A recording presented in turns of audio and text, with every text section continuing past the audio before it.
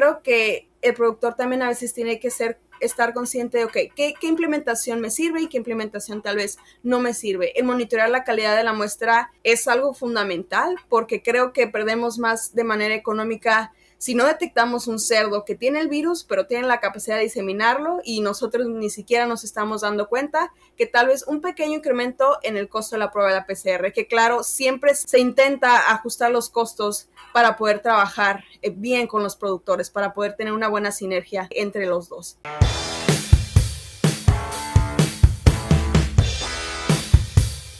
Muy buenos días, mi nombre es Laura Batista y hoy voy a ser su anfitriona en uno de nuestros episodios de Cerdocast. El día de hoy contamos con la presencia de la doctora MBZ y también eh, maestra en ciencias, la doctora Berenice Nentía, que nos va a hablar acerca de la importancia del manejo de las muestras para el diagnóstico de PIRS mediante la técnica de la PCR. Berenice, muy buenos días. Muchísimas gracias por aceptar nuestra invitación a uno de nuestros nuevos episodios de CerdoCast. Muy importante para nuestro auditorio, Berenice, que nos platiques tu, tu background eh, acerca de por qué que estudiaste medicina veterinaria. Por favor, comparte con nosotros esa experiencia. Muchas gracias, doctora Batista, y muchas gracias por la invitación. El por qué estudié medicina veterinaria es parte desde que estaba muy pequeña, siempre veía en la televisión documentales eh, orientados a las ciencias biológicas, entonces, pues siempre fue mi interés eh, estudiar algo relacionado con eso, ¿no? Pero creo que mi mayor interés fue los animales, sobre todo eh, la función celular, su fisiología, su patología. Claro que en ese entonces no estaba consciente de todas las áreas en las que se desarrollaba un médico veterinario, pero sabía que, que iba por, por ese camino, ¿no? Y bueno, mi hermana también es médico veterinario entonces, eh, ella es un año mayor que yo y yo veía a ella como, como trabajaba en sus clases de anatomía y de fisiología y todo lo que hacía y pues, bueno, me, me orienté a estudiar medicina veterinaria. En ese entonces no estaba orientada en, en cerdos 100%, pero durante mi carrera estuve alrededor de cuatro años asistiendo en el área de patología veterinaria con el doctor Ramón Molina. Entonces, eh, mi, mi principal objetivo era ser patólogo, estudiar las enfermedades.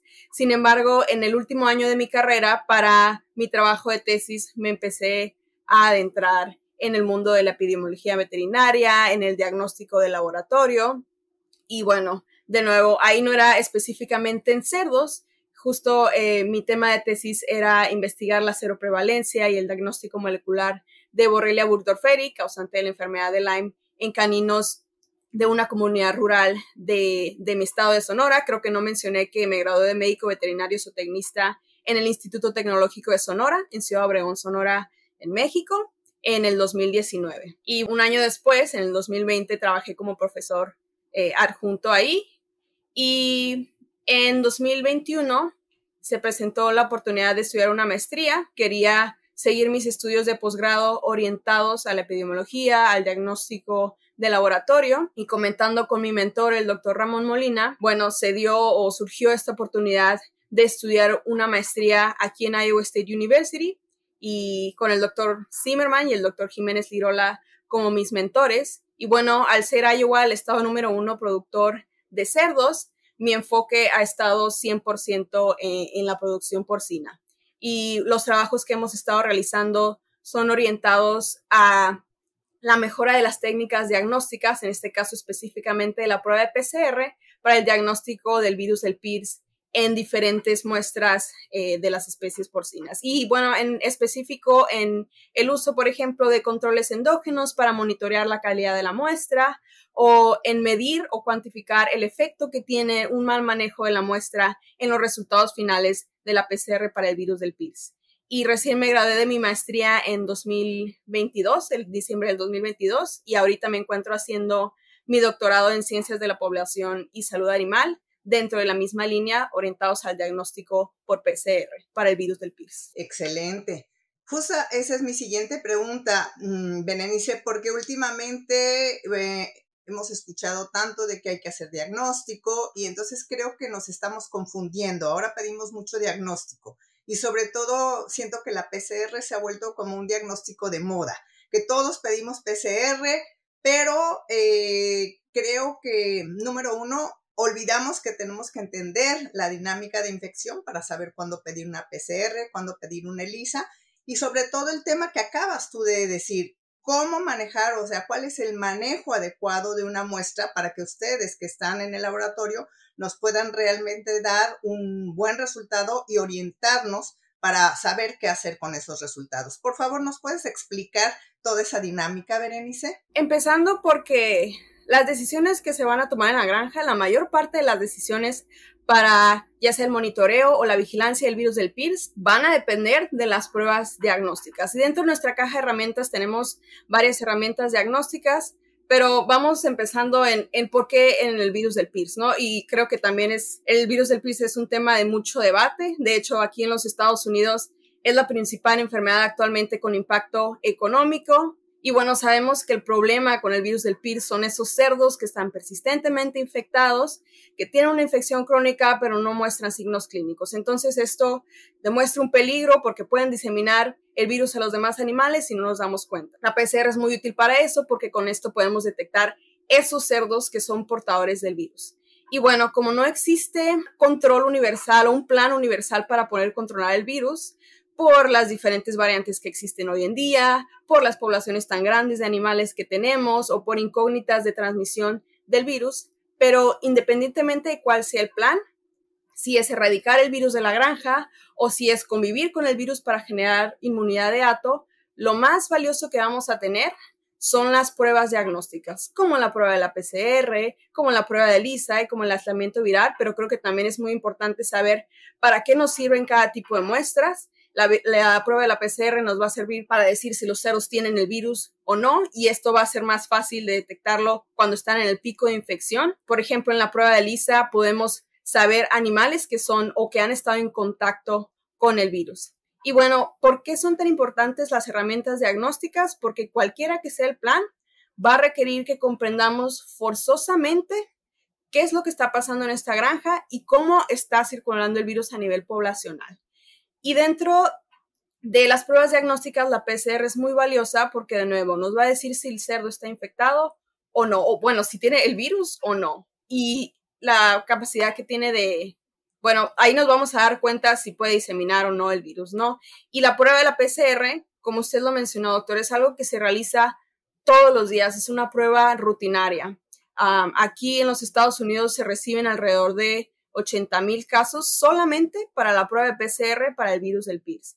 Y es algo que, que, va en aumento, ¿no? En, 2022 tuvimos alrededor de 87 mil casos. Esto es contando cinco laboratorios de diagnóstico veterinario, el de aquí de Iowa State University, el de la Universidad de Minnesota, el de la Universidad de Kansas, el de la Universidad de Dakota del Sur y el Laboratorio de Diagnóstico de Ohio. Entonces, hacer una prueba tan rutinaria y tan crítica para la toma de decisiones en granja es también vital que esta prueba sea precisa para nosotros poder confiar en los resultados de, la prueba de, la PCR. Berenice, tú acabas de mencionar un punto muy importante, la persistencia. Muchos olvidamos este punto, siempre creemos que nada más estamos buscando, como ya lo has dicho, el virus en el pico de infección.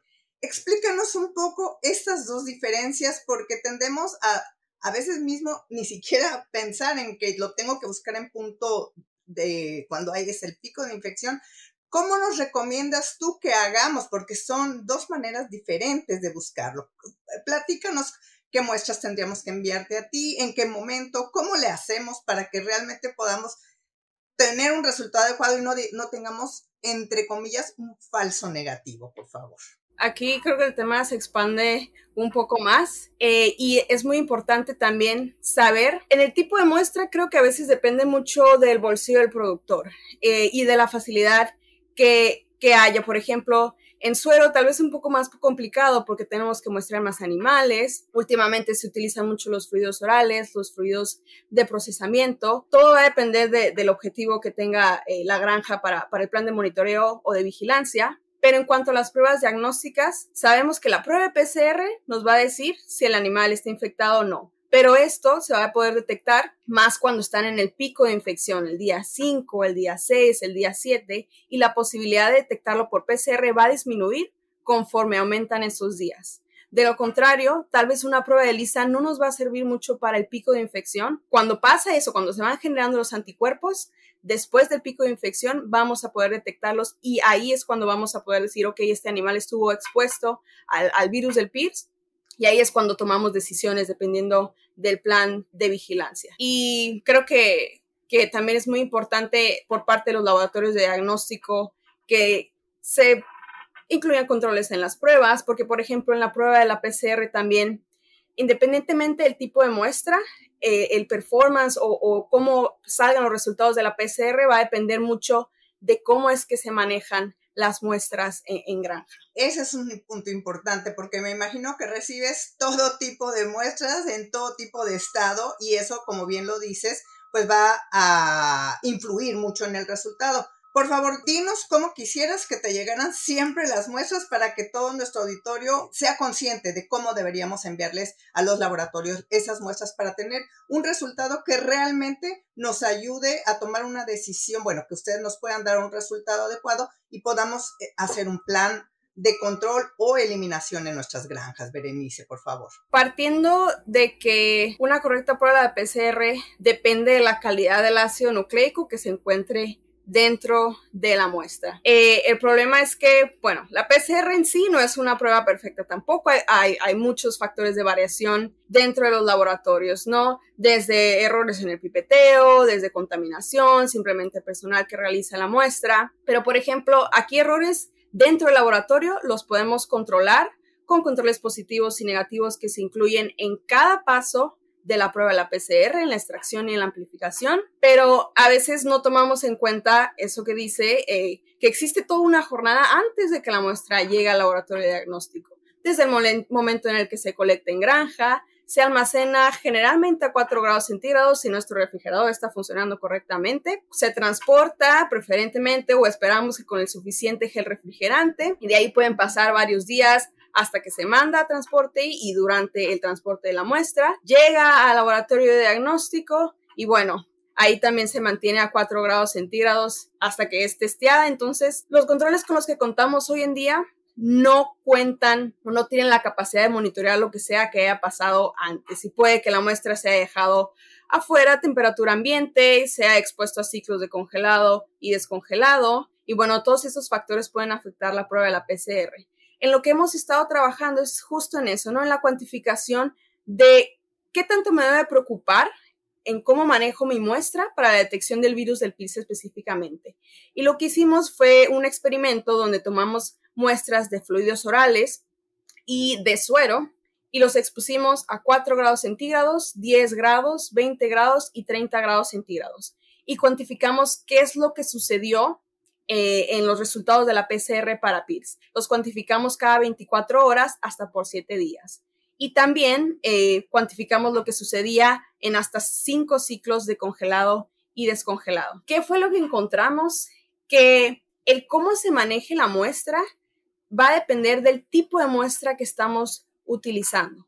Por ejemplo, en suero vimos que si los, ah, si los guardamos a 4 grados centígrados, incluso hasta por 7 días, no hay ninguna alteración en los resultados finales de la PCR para PIRS, incluso si se guardan a 10 grados centígrados hasta por 7 días. Pero cuando se aumentan las temperaturas a 20 a 30 grados centígrados, en 20 grados centígrados vimos que perdíamos el 1% de la concentración original del virus del PIRS cada 24 horas. Y cuando los almacenábamos a 30, perdíamos hasta un 5% de la concentración original. Que esto puede parecer poco, pero por ejemplo, si tenemos una muestra con baja carga viral, tal vez en un cerdo que no esté en el pico de infección, el 5% es suficiente para poder perder la capacidad de detectar el virus del PIRS por PCR y tener un falso negativo. En cuanto a los ciclos de congelado y descongelado, en suero no vimos ningún efecto hasta en 15 ciclos de congelado y descongelado. ¿Qué quiere decir esto? Que si yo tengo muestras de suero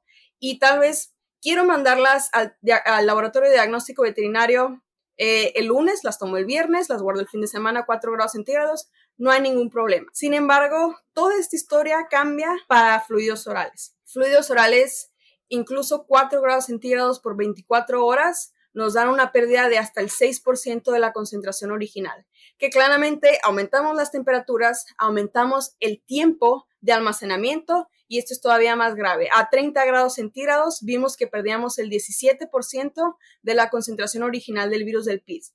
Esto quiere decir que al tercer día es 17% cada 24 horas. Entonces, al tercer día ya perdemos 50% de la concentración viral del virus del PIRS. Entonces, es muy importante que, esto se maneje dependiendo del tipo de muestra. En fluidos orales, el ciclo de congelado y descongelado, incluso dos ciclos, afectó también la concentración del virus del PIRS perdiendo también un 5% de la concentración original. Entonces, creo que el mensaje con este estudio para veterinarios, productores y personal de laboratorio, porque todos manejamos muestra, es que en suero los intentemos mantener a temperaturas menores a 20 grados centígrados y en cuanto a fluidos orales, lo ideal en un mundo perfecto sería mantenerlos congelados si no se van a testear inmediatamente a menos 80. Sin embargo, a veces en granja sabemos que no, no se puede. Y evitar los ciclos de congelado y descongelado. Pero bueno, esto de nuevo es en, es en un mundo ideal y pues también hay que hacer más estudios en distintos tipos de muestra porque fluidos de procesamiento es una prueba, es un tipo de muestra que se manda muchísimo, incluso ya sobrepasó el suero, entonces hay que continuar estos estudios para saber las recomendaciones. Súper interesante, Berenice, porque como bien dices, las muestras poblacionales en general están sobrepasando a suero, número uno, ¿no? Porque, pues por la facilidad y además, además por lo poblacional, ¿no? Hemos entendido cada vez más sobre todo con el virus de Pierce, que las muestras poblacionales nos permiten entender mucho mejor qué es lo que está pasando en la granja.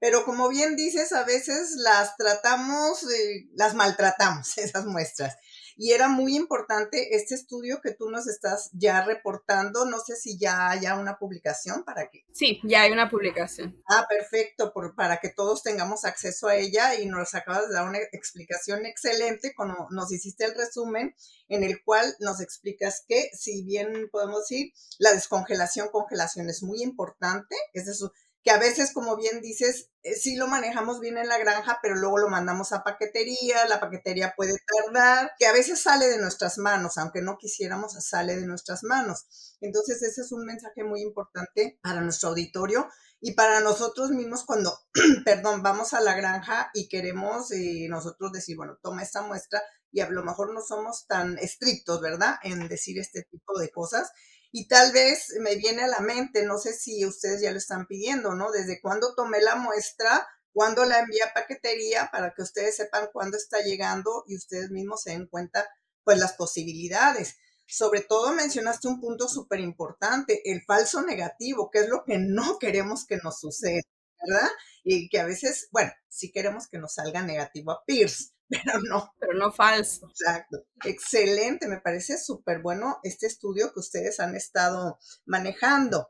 Y veía por ahí que ustedes están hablando de estos controles endógenos. Eh, eh, ¿Quieres, hay algo que nos quieras, por favor, platicar eh, acerca de este punto que creo que en realidad no lo conocemos y ustedes también estás tú haciendo estos estudios? Berenice, por favor. Sí, bueno, el uso de los controles endógenos parte, justo lo mencionó. Nosotros como personal del laboratorio, ¿cómo nos aseguramos de que la muestra que nos llegó para testear es de suficiente calidad como para poder confiar en los resultados de la PCR? La respuesta aquí es no vamos a saber nunca qué pasó con la muestra más que el personal del laboratorio. Entonces, el objetivo con el uso de estos controles endógenos es monitorear la muestra. Y en lo que se basan estos controles endógenos es en detectar un gen específico de la especie porcina que tiene que estar siempre ahí. Y bueno, este gen específico se amplifica en la misma reacción de la PCR donde se va a amplificar el virus del PIRS. Entonces, en nuestro reporte vamos a tener resultados cuantificables del virus del PIRS y del virus de nuestro control endógeno. Y bueno, creo que la lógica o el razonamiento con este control es que es un gen específico de la especie porcina, pero tiene que estar expresado siempre. Entonces, este gen tiene que ser un gen que sea básico, fundamental para la para la función celular. Por ejemplo, genes para la síntesis de proteínas o, por ejemplo, la beta-actina es un gen que se utiliza comúnmente como un control endógeno porque es parte del citoesqueleto. Entonces, bueno, eh, todos estos genes tienen que expresarse consistentemente y por lo tanto el uso de estos controles endógenos tiene que ser eh, validado. Esto no es un concepto nuevo, estos controles se vienen utilizando desde hace mucho tiempo pero en estudios de investigación en expresión eh, genética y recientemente en el diagnóstico. Ah, sin embargo, es algo que no se utiliza de manera rutinaria en, en los laboratorios de diagnóstico. Y bueno, el poder detectar, para esto eh, trabajamos eh, validando un control endógeno, que bueno, tenemos, establecemos puntos de referencia y testeamos para el virus del PIRS. Entonces, si estos valores del control endógeno, como siempre tiene que estar ahí y siempre tiene que darnos los mismos valores, valores consistentes, si los valores se ven alterados en los resultados, esto quiere decir algo sucedió con la muestra porque ese gen que se encuentra en la muestra de manera inherente está alterado. Entonces, lo que recomendaríamos aquí sería, si nuestro valor del control endógeno se ve alterado, hay que retestear. Y si retesteamos y no sale y todavía están alterados los valores, hay que volver eh, a tomar la muestra. Y bueno, esto nos ayudaría de gran manera porque de nuevo, nunca vamos a saber lo que le va a pasar a la muestra. Son muchas muestras las que recibimos de manera diaria. Entonces, esto sería muy importante para monitorear y asegurarnos de que podemos confiar en los resultados de la PCR de acuerdo a la calidad de muestra. Es una buena adición a todo el montón de controles que ya se utilizan en los laboratorios de diagnóstico veterinario. O sea, esto puede ser desde que la muestra no sea de cerdo o de que hayan echado. Perdón, se, se me pasó decir eso, que es bueno, tal vez si no es de cerdo, eso también lo podemos detectar, porque no tendríamos valores. Y tenemos que detectarlo en cualquier muestra que sea proveniente de cerdos. Suero, fluidos orales, fluidos de procesamiento, hisopados, tejidos, cualquier muestra de cerdo. Fíjate que el otro día nos sucedió una granja y la licenciada Vivi Luna, que tenemos un pequeño laboratorio en su granja, es una granja muy grande, nos platicó de todo esto y bueno, empezamos a rompernos la cabeza, pero gracias a esto que tú nos platicas del control endógeno, eh, ella súper bien porque nos dijo, es que no, no, algo está mal, algo está mal y gracias a eso, bueno, como estamos haciendo un trabajo muy interesante, pues yo dije, no, es que estamos usando demasiado desinfectante. Entonces yo dije, hasta estamos eh, matando a la muestra. Total, que hicimos un gran trabajo y ahora que nos explicas, eh, pues eh, concluimos finalmente que había algo que no estaba siendo claro gracias a ese control endógeno. La verdad es que sirven mucho, Berenice. No habíamos nosotros no hubiésemos caído, queríamos que saliera, bueno, estamos haciendo un proceso para negativizar una granja y hubiéramos bailado y estamos muy contentos de decir, ya está negativa, ¿no? Pero ese control endógeno nos dijo, algo está pasando que no es lo correcto. Así que qué bueno que estén haciendo esos estudios porque nos, como bien dices tú, nos da seguridad, ¿verdad? Nos, nos permite asegurarnos que por lo que todo esto que tú nos estás explicando. Ahora, una pregunta, esto es ahorita exclusivamente para el virus de Pierce, para la PCR de virus de Pierce. Estás enfocándote tus estudios y todo esto, pero me imagino que en el futuro se podrá eh, ya hacer para otras muestras, primero de cerdos, porque yo sé que tú, tú y tu grupo están enfocados a lo que es eh, trabajo con cerdos, ¿verdad? Sí, de hecho, ese control también es un control de una compañía, es comercial pero también existen, por ejemplo, para el virus de PDB, para los coronavirus porcinos, existe hasta investigación en, en virus de aves, entonces es algo que se está expandiendo y claro, estos se pueden utilizar para distintos virus. Lo que aún no sucede es que aún no se implementan en los laboratorios de diagnóstico veterinario. Supongo yo que es algo relacionado con el costo y es un paso adicional también. Y bueno, aquí es cuando tenemos que poner las cosas en, en, una balanza, ¿no? Y creo que también por parte del productor muchas veces de esto depende de los costos, va a depender cuántas muestras vamos a mandar y con cuánta frecuencia la vamos a mandar. Pero creo que el productor también a veces tiene que ser estar consciente de, ok, ¿qué, ¿qué, implementación me sirve y qué implementación tal vez no me sirve? El monitorear la calidad de la muestra es algo fundamental porque creo que perdemos más de manera económica si no detectamos un cerdo que tiene el virus, pero tiene la capacidad de diseminarlo y nosotros ni siquiera nos estamos dando cuenta que tal vez un pequeño incremento en el costo de la prueba de la PCR, que claro, siempre se, se intenta ajustar los costos para poder trabajar eh, bien con los productores, para poder tener una buena sinergia eh, entre los dos. Pero sí, esto se puede expandir incluso a más especies y además enfermedades. Excelente. Bueno, estamos eh, ya llegando al final de nuestra entrevista y quería, bueno, entre tus conclusiones, dos, tres que quieras mandarle así bien importante al, a nuestro auditorio, cuál, si nos quieres mandar tres mensajes acerca de todo esto que están ustedes haciendo, que estás haciendo tú, ¿Qué nos dirías, a ver, para que hagamos un buen diagnóstico de la PCR de PIRS, que fue el tema que hoy nos tocó platicar, Berenice, por favor? Creo que mis conclusiones es que todo esto, el correcto control del virus del PIRS, es un trabajo en equipo entre el personal de granja, el veterinario y los laboratorios de diagnóstico. En el personal de granja, el que toma la muestra tiene la responsabilidad de que sea manejada correctamente, de que se almacene, por ejemplo, tal vez en fluidos orales, no los podemos congelar a menos 80 hasta que lleguen, pero ok, a 4 grados centígrados, checar, monitorear que los refrigeradores estén funcionando correctamente y enviar la muestra lo más rápido posible.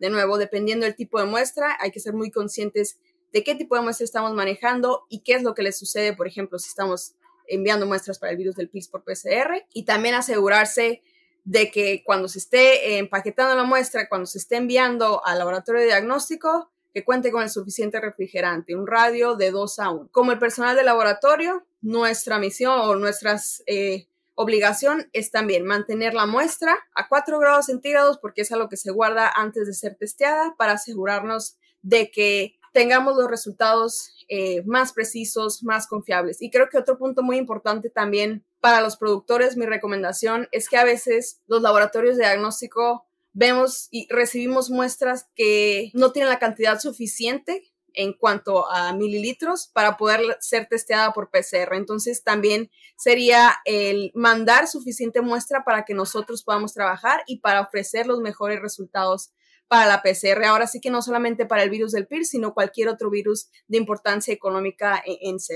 Muchas gracias. Berenice, yo te hice unas preguntas antes de la entrevista y a mí me pareció muy de fuerza que tú me dijiste una cosa, porque muchos latinoamericanos, yo tuve la suerte también de poder estudiar en el extranjero, le tenemos mucho miedo a irnos y yo quiero que le mandes, porque me encantaron tus respuestas, que le mandes ese mensaje que me enviaste a mí a todos nuestros colegas, porque muchos se nos quedan por allá y no quieren, no quieren ir, pero me gustó mucho tu respuesta. Por favor, compártela con nuestro auditorio, Berenice. Bueno, lo que le comentaba la doctora es que nosotros, creo que la mayoría de, de personas una vez que salimos, y más en el ámbito de la veterinaria, salimos muy motivados con seguir aprendiendo sobre un tema, por seguir continuando nuestros estudios, un posgrado tal vez, e incluso más cuando vemos los programas que existen en el extranjero, todos los ámbitos en los que nos podemos desarrollar, el poder utilizar las últimas tecnologías, pero es un miedo muy común que tenemos todos al salir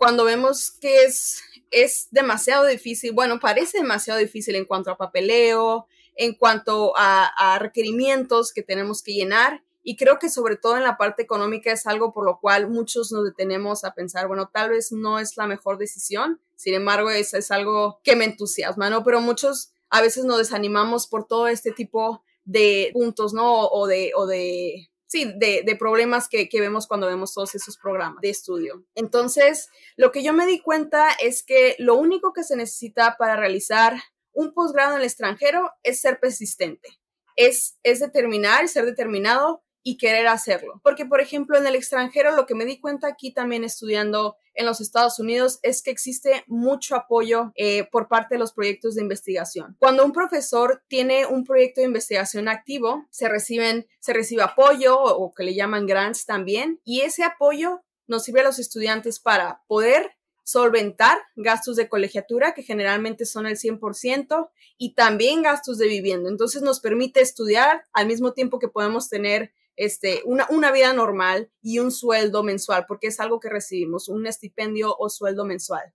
Entonces, mi recomendación para cualquier persona que decida estudiar en el, en el extranjero es checar el programa de la universidad que te interese. Después de eso, buscar un profesor que trabaje en el departamento dentro de ese programa y una vez que se pongan en contacto con ese doctor o con ese profesor, él te va a decir si se ocupan estudiantes en su equipo y si, y si tiene proyectos de investigación para ti, que generalmente es, creo que eso es a veces lo más sencillo. Muchos profesores aquí están buscando estudiantes y creo que lo más fácil aquí es ponerse en contacto con él. Una vez que tengas un mentor, que te pongas en contacto con él, es solamente seguir el proceso de aplicación en las de la universidad, que es solo seguir los pasos que están en el sitio web.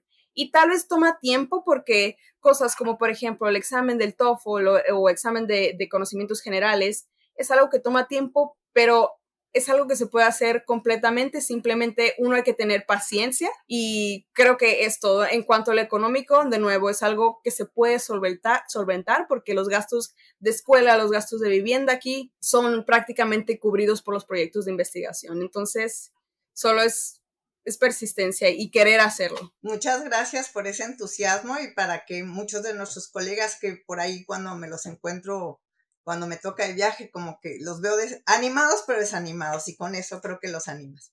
Berenice, siempre cuando terminamos nuestros eh, episodios de Cerdocas pedimos que nomines a alguien que conozcas, que creas que pudiese ser una persona que pudiera compartirnos eh, sus conocimientos, sus experiencias.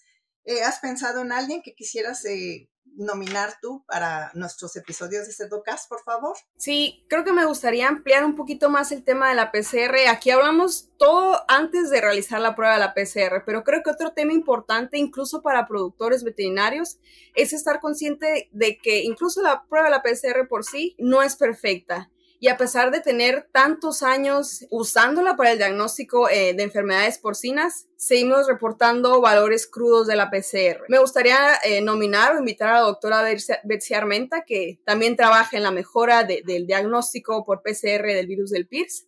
Ella ha estado trabajando en la normalización de los resultados de PCR para PIRS. ¿A qué me refiero con esto? A que a pesar de que nosotros reportamos resultados crudos, el reportar resultados crudos de la PCR, que es algo que se hace actualmente, con eso estamos asumiendo que la prueba es 100% perfecta y 100% eficiente. Pero eso eh, no es verdad. La prueba de la PCR de manera inherente va a variar y el reportar resultados crudos nos hace que, que hay una sobreestimación de la carga viral que hay en la muestra y entonces ni siquiera podemos establecer líneas bases para determinar si una muestra es positiva o negativa, porque actualmente los CTs o los CQs hay, hay aquí un poco de, no, no se sabe bien si establecerlo a 37, 38, 40 para determinar lo negativo. Entonces creo que el normalizar estos resultados, incluso este trabajo está en proceso de publicación, nos ayuda a establecer eh, líneas bases. Entonces creo que es muy importante que veterinarios, productores e incluso personal del laboratorio escuche o, haga conciencia de que normalizar los resultados de la PCR es algo esencial y que tenemos que empezar a hacer. Excelente, muy bien, pues lo vamos a tomar en cuenta. Y una pregunta que se me ocurrió anoche.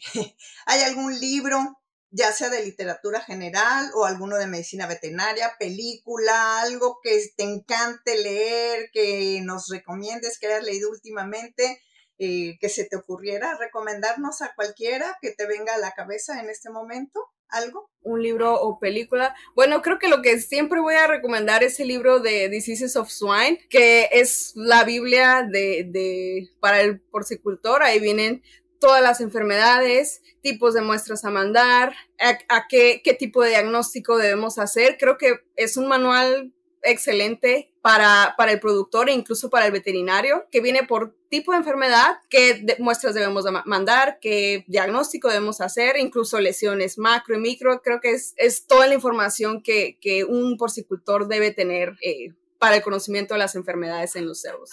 Bueno, creo que ese es el libro que recomendaría. Muchas gracias, Berenice. Ha sido una entrevista súper interesante. Muchísimas gracias por compartir todo tu conocimiento y tus experiencias con todo nuestro auditorio y con CerdoCast. Ha sido un placer entrevistarte y me encanta que hayas hecho este esfuerzo para irte. Tienes, estás en un grupo maravilloso con el doctor eh, Zimmerman, con todo el grupo, con Luis, que tengo la fortuna de conocer.